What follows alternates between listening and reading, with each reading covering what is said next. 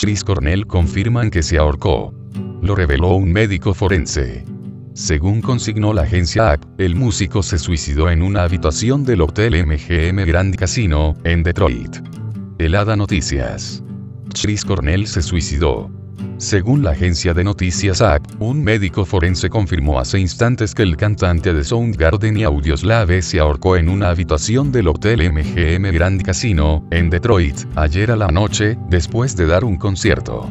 Por su parte, CNN añadió la información de que Lisa Koff, vocera de la Oficina de Exámenes Médicos del Condado de Wayne, fue la encargada de dar la trágica noticia. Aseguró que la causa del fallecimiento fue suicidio por ahorcamiento. A su vez, también explicó que los resultados de la autopsia aún no están completos. Esta mañana, un vocero de la policía de Detroit había informado a la prensa de que investigaban si el músico se había provocado la muerte. Según explicó, cuando los agentes llegaron a la habitación se encontraron con un cuerpo que tenía una cinta enroscada alrededor del cuello.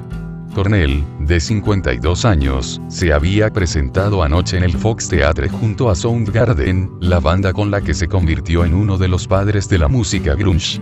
Poco después del show, uno de sus asistentes anunció la muerte. La noticia provocó desconcierto. La última vez que Cornell visitó la Argentina fue en diciembre del año pasado, durante su gira internacional y Gertrude.